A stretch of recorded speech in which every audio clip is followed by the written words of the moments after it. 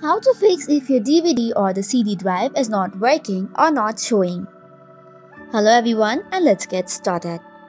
If this is the case, make sure you check for the physical connection. Ensure that the DVD and the CD drive is properly connected to your computer.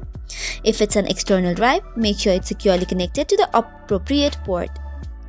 Check for the disk management. If it is shown here on the disk management but not on the interface, in that case, you can just right click on your drive and try to make the settings change such as changing the letter of the drive and much more. Once this is done, you can check if it is working or not. Likewise, the next option is you have to go to the device manager and check for any entries under the CD or the ROM drives or the disk drives. If there is an entry with a yellow exclamation mark, there may be problem with the device driver. In that case, you have to uninstall and reinstall the drive. Right click on it and uninstall completely.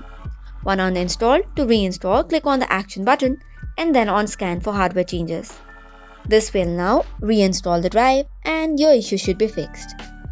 Likewise, you can also check for the hardware issues by connecting with different disks to see if it's able to read any of them. You can also use Windows inbuilt features for the hardware troubleshoot that can help identify and fix the issue. So this is all for today's video. For more such contents, do not forget to hit the like and subscribe button. Thank you and keep watching.